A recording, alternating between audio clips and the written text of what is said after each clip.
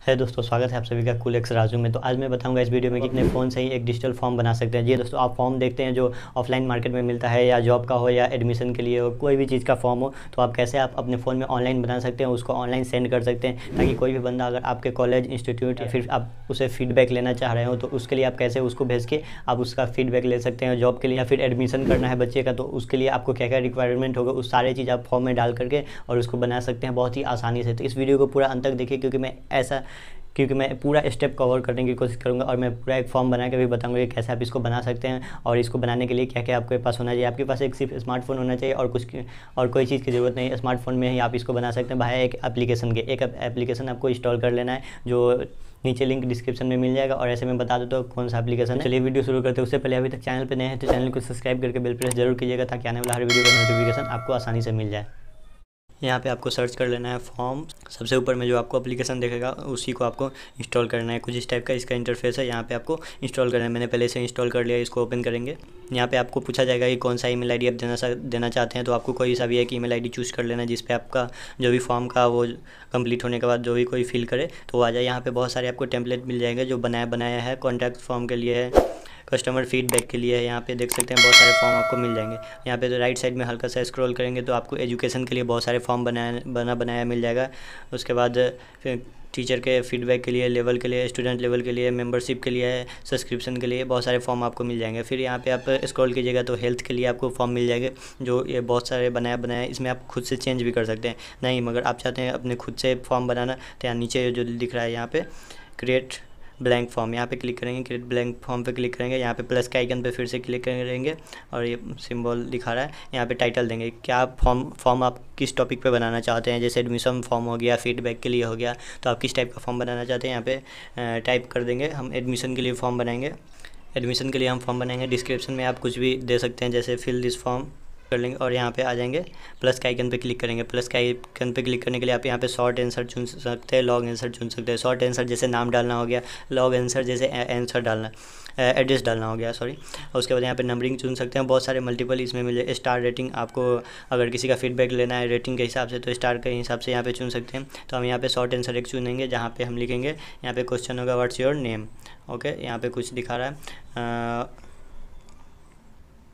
यहाँ पे ऑटोमेटिक ले रहा है। आप यहाँ से भी देख सकते हैं। हम यहाँ पे रिक्वायर्ड कर देंगे। रिक्वायर्ड का ऑप्शन दिखा रहा है यहाँ पे कि इसको भरना ही है तो यहाँ पे इसको ऑन कर देंगे। तो ये हो गया। यहाँ पे ये हो गया और उसके बाद फिर ये हो गया व्हाट्स योर नेम कोई भी शॉर्ट आंसर हो गया। फिर यहाँ से प्लस के आइकन पे क्लिक करेंगे। तो व्हाट्स योर फादर नेम या मदर नेम ये भी आप पूछ सकते हैं। एडमिशन फॉर्म है तो ये ज़रूरी है। तो यहाँ पे शॉर्ट आंसर फिर से चुनेंगे। व्हाट्स योर फादर इसको भी रिक्वायर्ड कर देंगे तो यहाँ से इसको ऑन कर देंगे, ये हो गया। उसके बाद फिर हम नेक्स्ट नेक्स्ट चुनेंगे व्हाट्स योर एड्रेस यहाँ पे हम डालेंगे what's your address what's your address इसको भी रिक्वायर्ड कर देंगे। उसके बाद फिर हम हाँ इसको अगर आप चाहे तो स्क्रॉल करके ऊपर नीचे भी रख सकते हैं, जिसको जहाँ रखना चाहे एडजस्ट कर सकते हैं, इसमें कोई दिक्कत वाली बात नहीं है।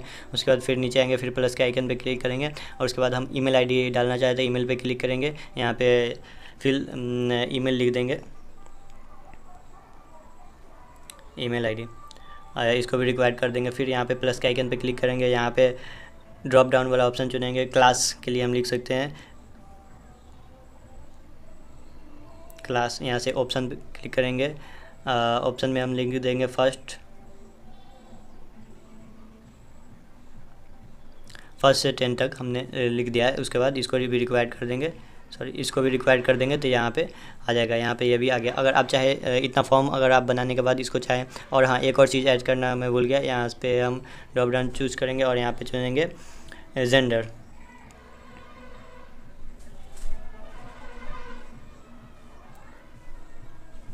इसको भी रिक्वायर कर देंगे और इसको हम ऊपर स्क्रॉल कर कर देंगे यहाँ पे हाँ। ये हो गया। अगर आप इतना इतना बनाने के बाद चाहे इसका प्रीव्यू देखना चाहे तो नीचे में आपको प्रीव्यू का ऑप्शन मिल जाएगा। यहाँ पे हम इसको प्रीव्यू देखेंगे कि कैसा बना है आखिर ये।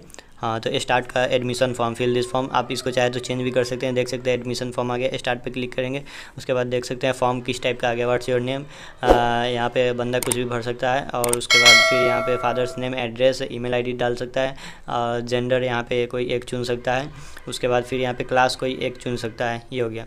कोई क्लास एक मल्टीपल है। कोई टेन तक, कोई भी जाए, यहाँ पे सबमिट का बटन आ गया। अब इतना सब करने के बाद, अब इसको यहाँ पे हम सबमिट के ऑप्शन जो आपको दिख रहा है सेट सबमिट पे क्लिक कर देंगे। तो यहाँ पे आपसे पूछा जाएगा कि ऑप्शन पे आने के बाद यहाँ पे आपसे पूछा जा रहा है कि एक बंदा बहुत बार आपका एक ही बंदा चाहे तो हर बार फॉर्म भर सकता है तो इसको यहाँ पे ओके कर देंगे। तो यहाँ पे एक ही बंदा बार बार फॉर्म भर लेगा। अगर आप नहीं चाहते तो यहाँ पे इसको खाली रहने देंगे। यहाँ पे आप इसका कलर और थीम चेंज कर सकते हैं। तो यहाँ पे आप जो भी चाहे, वो लगा सकते हैं। मैं इसको लगा देता हूँ।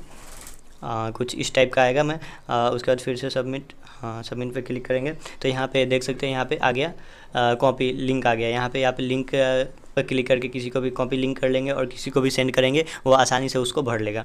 यहाँ पे मैंने लिंक कॉपी कर लिया। इसको ओपन करेंगे। ओपन करने के बाद यहाँ पे ये आपसे दो चीज़ पूछेगा। या आप एप्लीकेशन के थ्रू खोलना चाहते हैं या फिर आप इसको क्रोम के ब्राउज़र तो आप क्रोम से खोलेंगे। क्रोम से ओपन होगा और कुछ इस टाइप का आपका फॉर्म दिखेगा।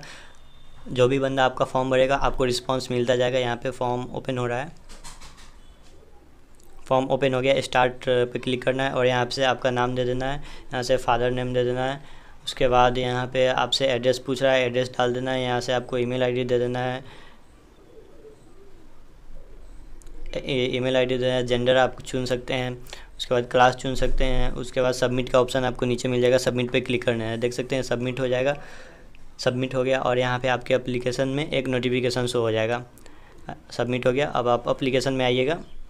एप्लीकेशन में आने के बाद एक नोटिफिकेशन आपको शो हो जाएगा। व्यू रिस्पॉन्ड एक नोटिफिकेशन शो हो जाएगा कि बंदे ने एक फॉर्म भरा है। यहाँ पे देख सकते हैं कौन बंदे ने फॉर्म भरा है।